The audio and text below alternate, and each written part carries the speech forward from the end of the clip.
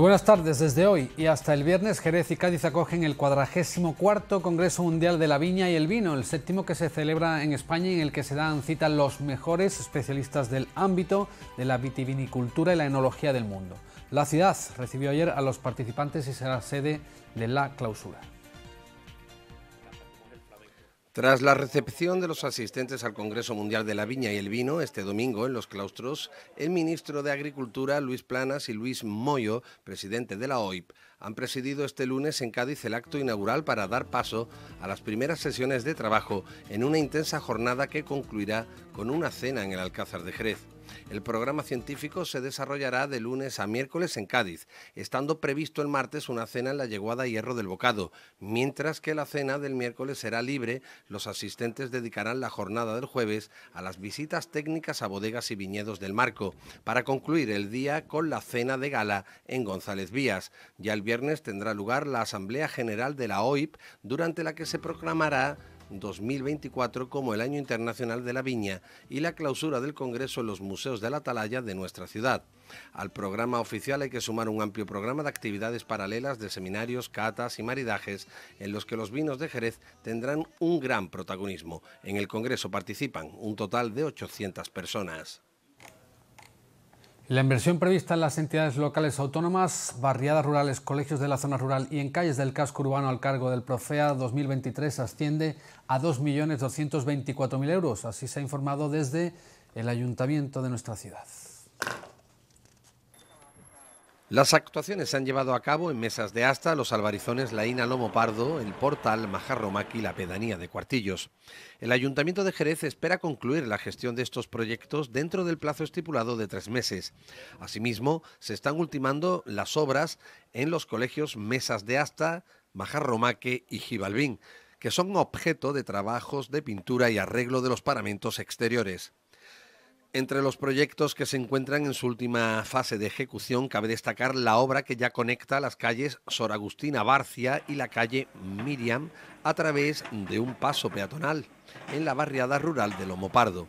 Esta conexión, ampliamente demandada por los vecinos, permite evitar un rodeo de más de 500 metros para acceder de una calle a otra, ya que discurren en paralelo. Otras tres actuaciones reseñables son las obras de dos pistas de pádel en las barriadas de La Ina y Gibalbín. Otro equipamiento deportivo destacable es la nueva pista multideportiva de Cuartillos. Imamen Sánchez, alcaldesa de Jerez en funciones, firmó días atrás la escritura de compraventa de la nave bodega La Chica, que fue adjudicada a la empresa jerezana Basima SL por un importe de 589.000 euros. La finca está situada en la plaza de la Serrana 6, en el entorno Madre de Dios, y tiene un uso de actividad económica, contando con grado de catalogación de interés genérico.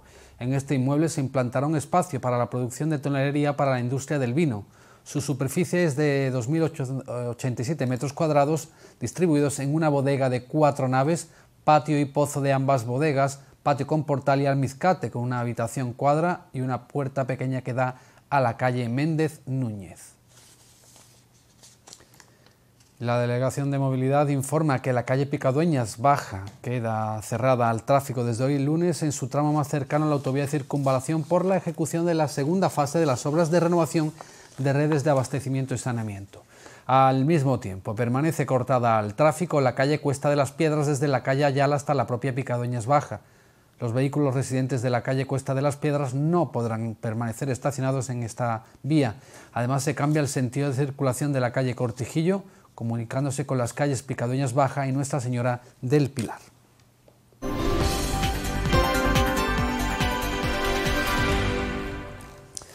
Vamos con más asuntos. Ayer domingo en los museos de la Atalaya tuvo lugar la presentación del cartel de la coronación canónica de Nuestra Señora de la Estrella.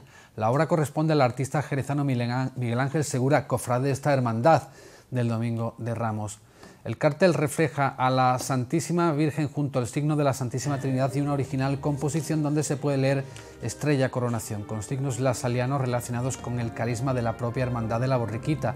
El acto también acogió el himno oficial de la coronación canónica, que está compuesto para orquesta sinfónica y coro de niños y cuya letra ha sido escrita por el jerezano Rafael Lorente y la música corresponde al músico Ángel Hortas.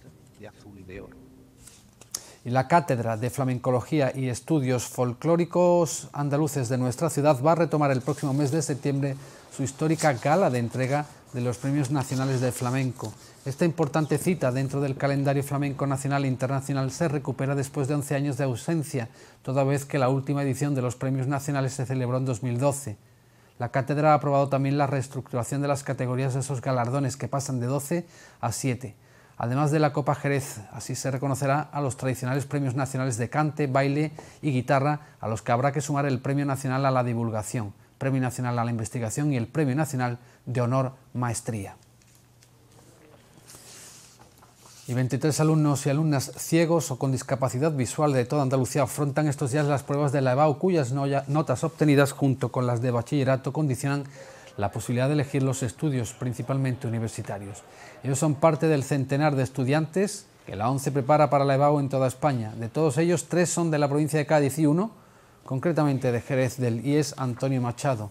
Esta preparación cuenta con el apoyo de los equipos específicos profesionales que se encargan de garantizar la accesibilidad, la equidad y la igualdad de oportunidades, garantizándose el acceso a ordenadores adaptados o a la tiflotecnología.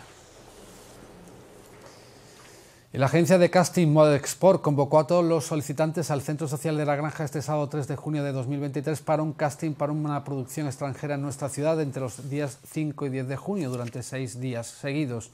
Los examinadores valoraron características en mujeres europeas con el pelo no más largo del pecho, hombres con el pelo no demasiado corto, rapado y personas árabes o de apariencia árabe. Pese a que no se anunció el nombre de la producción, podría tratarse de We Were the Lucky Ones, de Disney Plus, de la que ya se ha rodado en la provincia. Más cosas, una treintena de autores andaluces o vinculados a Andalucía participan en la exposición colectiva nocturnos que se inauguró el pasado sábado en la Sala Pescadería Vieja. Esta muestra de obras de diversas disciplinas artísticas está organizada por el Ayuntamiento de Jerez con la colaboración de El Devenir Art Gallery, Galería Zonino y Bernardo Palomo. La exposición constituye una oportunidad única para disfrutar de la producción de artistas de primera línea ya consagrados dentro del panorama del arte contemporáneo como Luis Acosta, Ángel Alén, Rafael Alvarado Magdalena Bachillero, María Luisa Benítez, entre otros muchos. Esta exposición podrá visitarse hasta el 12 de agosto. FK acogió este fin de semana una nueva edición del Salón Manga. El cantante Miguel Morant, la actriz y directora de doblaje Blanca Rada y el actor y director de doblaje Rafael Alonso han sido algunos de los artistas de reconocimiento internacional invitados en esta edición de 2023. Con respecto a las actividades programadas, el certamen ha incluido un evento especial por el 40 aniversario del anime Captain Tsubasa, Oliver y Benji, con firmas de actores invitados, así como de diversas zonas separadas por temáticas, entre ellas videojuegos, gastronomía comercial y hasta eventos conocidos como bodas frikis, una capilla dedicada a simular ceremonias de casamiento para cualquier ser del universo conocido o por descubrir. la Biblioteca Central celebró este sábado una jornada especial dedicada a los más pequeños de la casa, en este caso a cargo de Philippe Le Magnifique, que llevó a cabo un cuentacuentos muy particular bajo el título de, Donde dije, digo, digo contigo. Philippe hizo que niños y niñas escucharan historias de la manera más divertida y didáctica, teniendo como broche final juegos de magia para conectar con el mundo de la fantasía una varita mágica. La varita es muy peligrosa, ¿eh? Porque la mueves y me puedes convertir en una lechuga. La se llenó este domingo de los caballeros distinguidos o Gentleman's Riders con sus mejores galas y en sus motocicletas personalizadas clásicas y de época con el fin de recaudar fondos. Un evento que nació en Sydney, Australia, de manos de Mark Hawa, inspirado por una foto de Don Draper de la serie Mad Men, ahorcajadas en una mota clásica y vestido con su mejor traje. Mark decidió que un paseo temático sería una estupenda manera de combatir el estereotipo, a menudo negativo de los hombres motociclistas, así como para conectar y reunir a comunidades de motociclistas como la que este fin de semana paseó por Jerez, con la finalidad de recaudar fondos para apoyar a la prestigiosa Fundación Médica Movember en sus proyectos de investigación.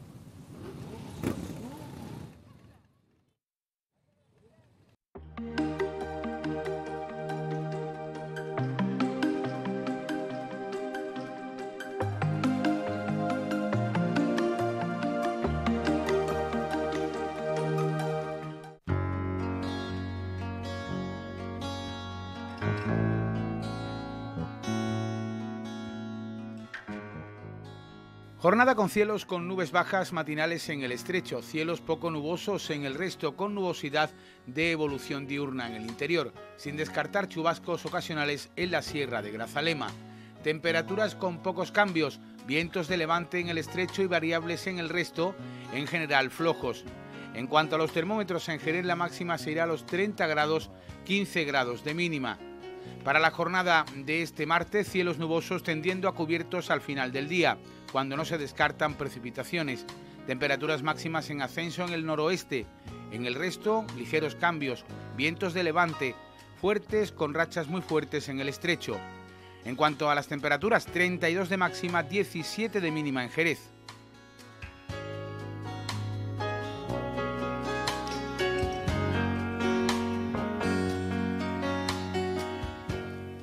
Con la información de la meteorología terminamos este primer informativo de la semana. Gracias por su atención. Hasta mañana a la misma hora.